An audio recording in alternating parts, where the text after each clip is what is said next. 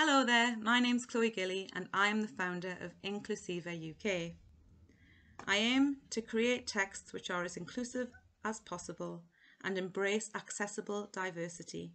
If you want to get a hold of me, you can email me on inclusiva.uk at gmail.com. I really believe that all children deserve access to story and texts, despite their needs as a teacher, I often find I am making things from scratch and it's time consuming and things don't always fit exactly how I need them. I do think children deserve to have stories with people who are just like them so that they see role models and can have aspirations and dreams and don't feel like they have been left out.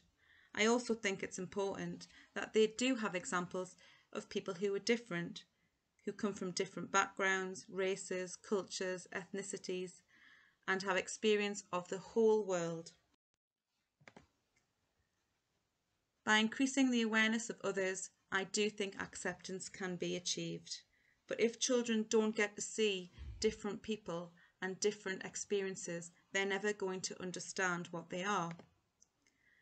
I've done this to help families, teachers, but most of all children more and more I was seeing inclusive books in the library, but they were only aimed at mainstream children who could access those books without adult support.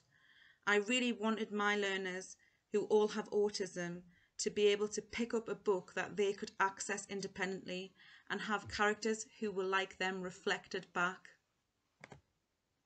I really think that enabling learners to access the entire world is of vital importance.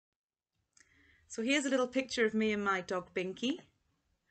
I would love if you liked and subscribed to my channel. I will add more stories as the views and subscriber numbers increase. I'm not joking, I have loads of them. And a series of books is coming soon. I'm busy writing something and in talks with a few different people.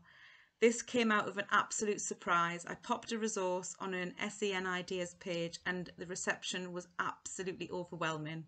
So I know that people will like these things and will use them for those busy times in class, like waiting at the end of the day or just before lunch when you like to pop a story on, or even for families who've been learning about these things at school.